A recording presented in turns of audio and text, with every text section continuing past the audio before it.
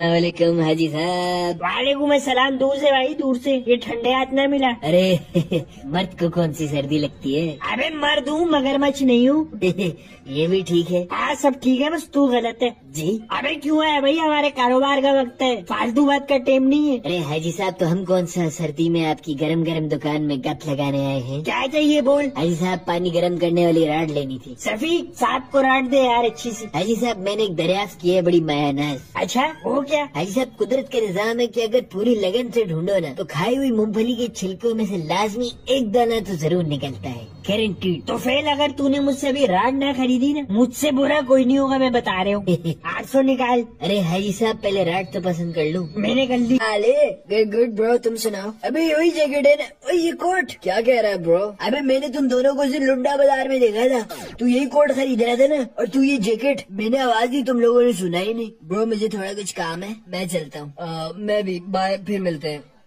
अबे क्या हुआ भाई? रुको तो सही। छोड़ो साले। नाजरीन इससे मिले ये है जिब्रान।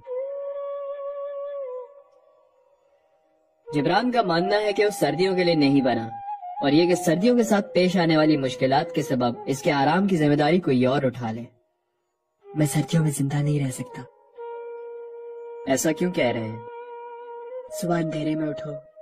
नहाने का पानी गर्म करने जाओ तो गैस खत्म। हीटर भी नहीं चलता गैस के बगैर। दिन की शुरुआत ही खराब होती है। जिब्रान का कहना है कि सर्दियों में सुबह सुबह गाड़ी भी स्टार्ट नहीं होती।